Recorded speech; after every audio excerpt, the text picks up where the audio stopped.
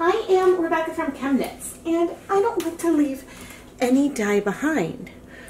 We have here a dye bath with, goodness, probably five or six tablespoons of white vinegar. And I have just added uh, about a quarter teaspoon of Jacquard Brilliant Blue that had been dissolved in around a cup or so of water. The dye bath is still warm, and as I said, there's a lot of acid. But we're now gonna add some pre-soaked Wool of the Andes worsted weight yarn. It's cool enough that I can add my hands in it to move it a bit. This is a um, non-superwash yarn, so I do not want to move it too, too much. But I thought it would be fun to create like a nice tonal, semi-solid type yarn and I just turned on the heat. Knit Picks Wool of the Andes worsted weight yarn is 100% Peruvian highland wool, and we've added 100 grams of the yarn to the pot. Now, I was checking today, and it appears that one quarter teaspoon of the Brilliant Blue dye is approximately uh, 0.6 or 0.7 grams. So that means that we're probably at a uh, 0.6 or 0.7% DOS or depth of shade for this color. But I know it'll give us a really brilliant blue. Ha ha ha ha. Sorry, I couldn't help myself, guys. anyway, uh, there's definitely color in the pot and we're gonna need to give this some time. I did add one of my removable zip ties onto the yarn as an extra tie. It helps keep things from getting tangled, um, but also you can use these a lot to pick up the yarn and I find them really handy. If you'd like to learn more about any of the materials that I'm using in this video, uh, you can find affiliate links in the video description. I have the heat on medium right now, but I really don't want to get this to a rolling boil, but staying below a low simmer would be ideal. So I'm gonna come back in about 30 minutes, but I'm gonna poke my head in and check it periodically to make sure it's not too hot or to see how uh, we're doing with exhausting the dye. After 25 minutes, we're at more of a rolling boil and I'm gonna turn off the heat. Let's take a look. Looks like our color has mostly cleared. There's definitely a little hint of blue left in the pot, but I am gonna leave this in here to cool completely, um, which I know from using this color earlier today should allow the rest of the color to absorb. I have to say I am thrilled with how potent this color is. The Jacquard Sky Blue that I had at the very beginning of my acid dye adventures is not as saturated or pigmented as this one. And if I wanted to achieve this kind of color depth uh, with the sky blue, I think I would need to use more than a 1% DOS. A couple hours later, and the pot is almost completely cool, but one thing we can say is that the water has cleared, so I can now set this yarn aside for it to finish cooling and get to room temperature, and then we can go wash it.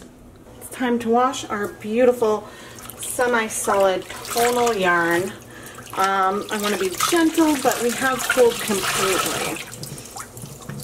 Um, I think when I'm dry, or I think when the yarn is dry, it'll be a little easier to tell uh, how much uh, tonal variation there is in this. But to be honest, given that it was warm when it went in and there was a fair amount of acid, I am rather impressed by how even the coverage is here. Now granted, I moved it around a lot, which helps things bind more evenly. I'm now adding some dish soap. Uh, I'm using cold tap water for the rinse, but I want to see if there's any bleeding. It looks like though we are in luck and all the color is in the yarn. I'm going to carefully rinse out this soap, uh, put the yarn through my spin dryer, and then hang it up to dry and we'll come back for some conclusions. This blue is beautiful. I am honestly really impressed with how solid this yarn is. It's definitely a semi-solid, but given the highish concentration of acid, I was expecting the colors to strike a little bit slower, even though this is a non-superwash yarn. Now sure, there's some paler portions that you can sort of see around the ties, but these color, the color variation is so, so subtle and it's awesome.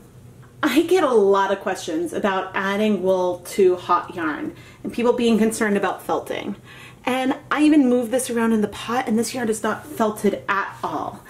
In general, when fibers are hot, they start to sort of bloom a little bit and then there's a little more risk that felting can happen. So if you have something in the washing machine and there's a lot of agitation, you will absolutely get felting but a little gentle movement inside a dye pot isn't going to hurt it.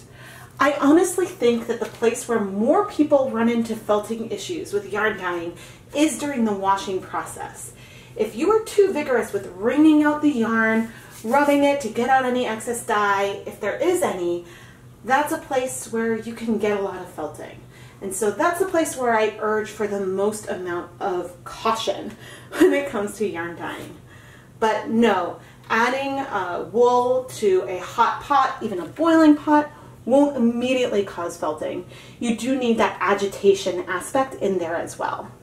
Of course, I haven't tested leaving yarn in boiling water for like 12 hours. And so if with long periods of time, if there's bubbles, that very subtle agitation could cause some felting. So I don't want to completely disregard the concerns but um, I, I'm very, very happy with the quality of the yarn that comes out of my videos. I am so happy with this blue color. And we could up the saturation of this color so much. This was probably only around 0.7 grams of dye on 100 grams of yarn. And look at this intense color. So this shows that you might need to use only a tiny amount of dye if you want a pastel. This is definitely not a pastel. I am Rebecca from ChemKnits, and I really hope that you enjoyed this video. If you enjoyed the video, subscribe, like, turn on notifications, and don't forget to leave a comment below. Your engagement is the best way that you can support the content on this channel. Of course, if you'd like to go a little further, you can go and check out the ChemKnits Patreon. Um, there's some really, really cool perks, and I'll leave a link in the video description and iCard. Thank you so much for watching, everyone.